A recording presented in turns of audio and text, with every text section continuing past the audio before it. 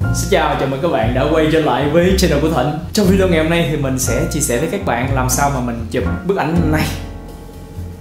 Mình chụp bức ảnh này đăng trên Instagram rõ nét chỉ bằng với một thiết bị khoảng 3 triệu đồng. Đây là cái điện thoại Redmi 6 nha, chỉ có 3 triệu thôi. Và mình đã làm như thế nào? Cái thứ hai nữa mình sẽ chia sẻ với các bạn là cái cách mà mình ghép ảnh. Ghép như thế này. Mình sẽ ghép lại những bức ảnh mà mình đã chụp ở trên thiết bị này. Như thế nào mà trông nó đẹp và nó chuyên nghiệp như vậy, thì hôm nay mình sẽ hướng dẫn các bạn làm cái điều đó chỉ trên chiếc điện thoại 3 triệu. Chỉ trên một cái thiết bị 3 triệu cũng có thể làm được, thì các bạn có thể tưởng tượng là các cái thiết bị khác chắc chắn nó sẽ làm được rồi ha. Ok, bây giờ thì mời các bạn. Vô.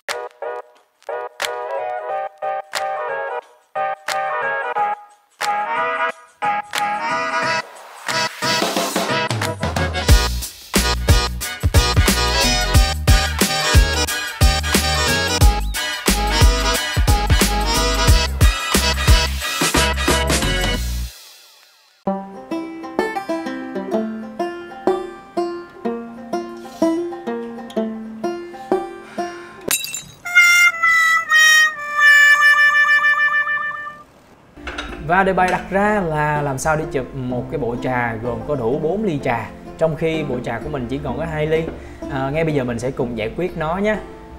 Điều đầu tiên mà mình muốn lưu ý với các bạn đó là các bạn hãy chọn cái thời điểm đẹp nhất trong ngày để mà có thể chụp được một cái bức ảnh đủ sáng và đẹp nhất. À, bởi vì dù chỉ là một thiết bị trong tầm giá sinh viên thôi thì camera của nó cũng sẽ lên hình rất là đẹp khi mà các bạn chọn cái thời điểm chụp là khi mà có nhiều ánh sáng nhất đó, ví dụ như bây giờ là khoảng từ 3 đến 4 giờ chiều thì nắng nó sẽ xiên và nhìn nó rất là đẹp. Bước tiếp theo mà các bạn cần làm đó chính là mình phải cố định cái khung hình mình lại bằng cách là các bạn có thể sử dụng gậy từ sướng nè, hoặc là mình sử dụng một cái tripod để mà có thể cố định cái khung hình lại ha. Như các bạn có thể nhìn thấy, ở đây mình sẽ bắt đầu chụp ừ, những bức ảnh giống nhau. Nhưng mà chỉ khác ở một điều đó là chính là mình sẽ di chuyển cái ly đang có nước trà ở bên trong ra nhiều vị trí khác nhau để mà tí hồi nữa mình sẽ ghép tất cả những tấm hình đó lại để cho ra một bức ảnh hoàn chỉnh. Và để mà có thể làm được cách này, các bạn có thể làm những cái cách sau để mà có thể chụp ra được những bức ảnh giống nhau mà không bị auto lấy nét hay là bị auto lấy đo sáng chẳng hạn. Ví dụ như ở đây, các bạn có thể nhấn và giữ trong màn hình để có thể ờ, khóa nét và khóa sáng.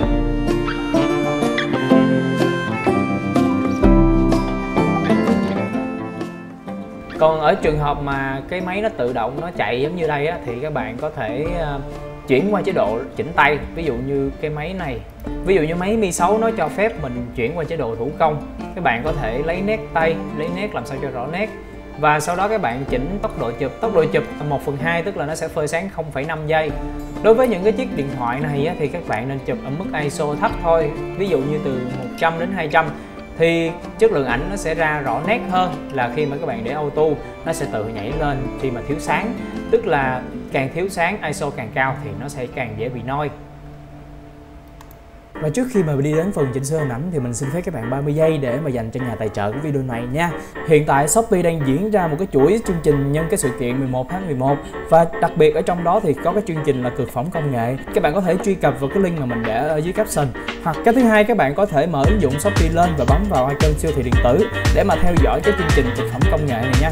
Và các bạn có thể bấm vào nút remind để mà có thể không có bỏ lỡ bất kỳ một cái điều nào. Đặc biệt vào ngày 28 tháng 10 thì sẽ có một cái điều rất là tốt về điện thoại. Các bạn đừng có bỏ qua nhé sau khi mà các bạn đã chụp được những bức ảnh như vậy rồi á, thì bây giờ mình sẽ bắt đầu tiến đến cái phần là mình edit cái hình ảnh ha.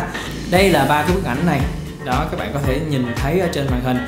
Một bức là hai cái ly ở giữa ha. Một bức là tay ở dưới và một bức là tay ở trên. Đó bức ảnh gốc của nó sẽ như thế này. Và mình sẽ tiến hành ờ, xoay rồi sau đó mình sẽ chỉnh công thức. Cái này thì quá nó quá đơn giản rồi mình sẽ chọn màu A6 và các bạn có thể nhìn xem cái phần công thức mình lướt qua ở đây nhé đó, mình chỉ đơn giản là kéo những cái thông số như thế này thôi và không có làm gì nhiều cả. Tiếp theo mình sẽ lưu nó lại hết cả ba tấm. Và sau khi mà mình, sau khi mà mình đã thực hiện xong ba tấm hình này thì mình sẽ tiếp tục bước qua Snapseed để mà mình thực hiện cái phần quan trọng hơn, đó chính là mời các bạn cùng xem tiếp nhé đây, ba tấm hình mà mình vừa mới lưu ở đây ha. Thì mình sẽ chọn, mình sẽ chọn cái tấm hình này để làm cái tấm chính và mình sẽ chỉnh sửa trên tấm hình này nhé. Mình sẽ vào phần công cụ và mình chọn phơi sáng kép. À, bây giờ mình sẽ bắt đầu add cái bức hình thứ hai vào. Đó mình sẽ thấy cái hiệu ứng là nó sẽ xuất hiện cả cái ly và cái tay. Nó mờ mờ đúng không? Bây giờ mình sẽ mình sẽ thay đổi cái thông số này để cho nó hiện rõ hẳn luôn thay vì là để mờ mờ như vậy. Và mục đích của mình thực hiện cái này để mà thực hiện bước tiếp theo đây đó, bây giờ các bạn nhìn thấy bức ảnh này nó đã mất cái ly rồi nhé sau đây mình sẽ chọn một cái công cụ ở phía trên nè. Đó, mình khoanh tròn ở trên màn hình ha. Mình sẽ bấm vào xem chỉnh sửa. Và cái này các bạn có thấy quen không? Ở trong một video về à, xóa phong, mình đã có hướng dẫn cho các bạn làm cái điều này rồi nha mình đã có hai bức ảnh trong cùng một khung hình và ngay bây giờ thì mình sẽ tiếp tục mình ghép hai bức ảnh nó lại. Đó, mình sẽ chọn công cụ là cái bút vẽ nè. Rồi, mình chọn vào nó nhé khi mà các bạn chọn vào cái bút vẽ này thì nó sẽ mất đi cái hình vừa rồi thì bây giờ mình sẽ tô. Nó có thể ờ, thực hiện ngược lại có thể là nó sẽ ờ, mất đi cái ly mà hiện cái tay thì chúng ta cũng sẽ tô ở cái này. Đó, các bạn có thể thấy không? Thì mình thay đổi bằng cách là mình sẽ chọn cái độ phơi sáng nè ví dụ từ 0 đến 100 mình chọn mình tô mình thấy cái nào nó hiện lên thì cái đó mình dùng được.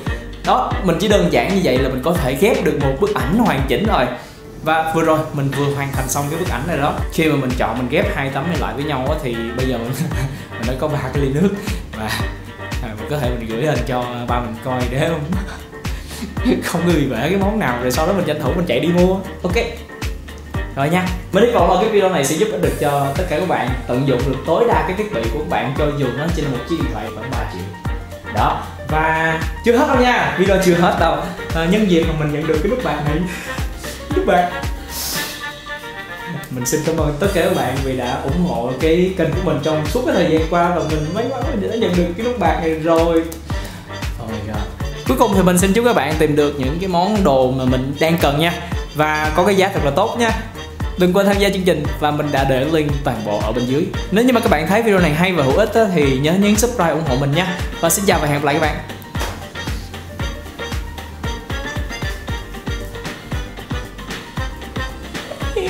Rồi nói đây, có gì từ từ tính, ngồi xuống uống nước ăn miếng bánh, uống trà. Thôi, quên bình trà bể rồi.